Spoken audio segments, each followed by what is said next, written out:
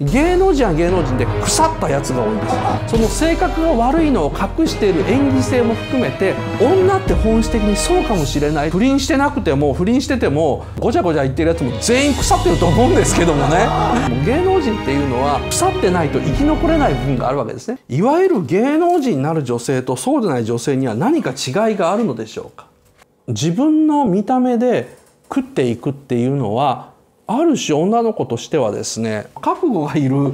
生き方だと思うんですよ。あの私は演技が好きだからテレビとかには出たくありませんっていう女優さんもいると。こう一言で芸能人になる女性とそうでない女性っていうのは書いてますけども役者さんとタレントさん芸能人っていうのは僕は別の人種だと見てて役者さんは役者さんで嫌なやつが多いで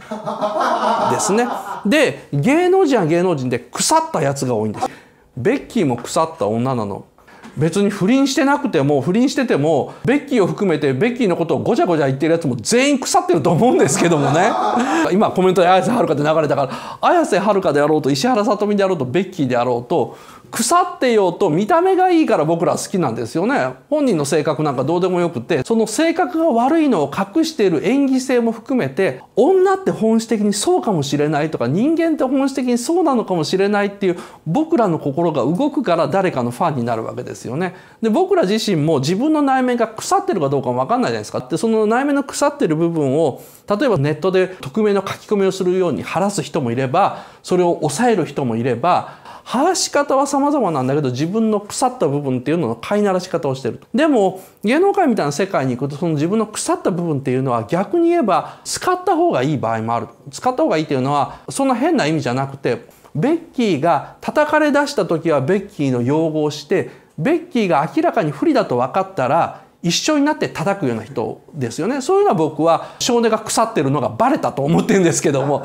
そんなことをする人は少年が腐ってると言うんじゃないんですよ。少年が腐ってることがバレただけなんですよ。で僕らはそういう少年が腐ってることをバレないようにとかですねもしくは自分自身でも腐ってると思いたくないからこそちゃんと自分を律して行動してるんですけども芸能人っていうのは腐ってないと生き残れない部分があるわけですね。例えばそのベッキーいい子だから擁護しようと思っていつまでも擁護してると本当になんか自分まで不利になっちゃうので風向きが変わったと思ったら自分の信念とかをコロッと変えて叩いた方がいいと思うから大部分の芸能人さんはそういうふうにしてらっしゃるわけでですね、まあ、そこら辺あるんでですね